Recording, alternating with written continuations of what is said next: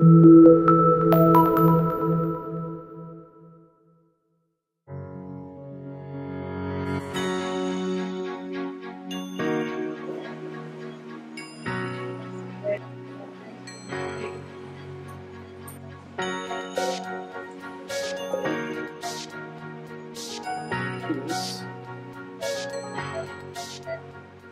い。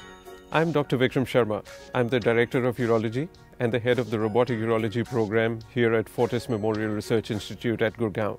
I want to tell you something about this exciting new development we have at uh, FMRI, and that is our Robotic Urological program.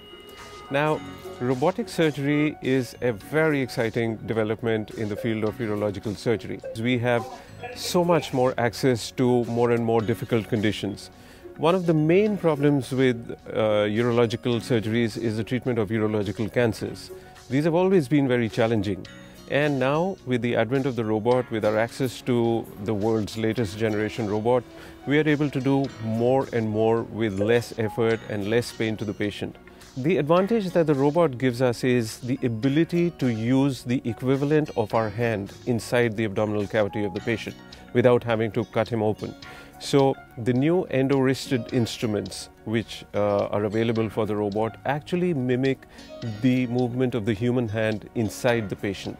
This translates into excellent cancer-free outcomes, into much faster recovery and much lesser blood loss. So we are very excited about this whole program, and obviously, more and more developments are coming into play.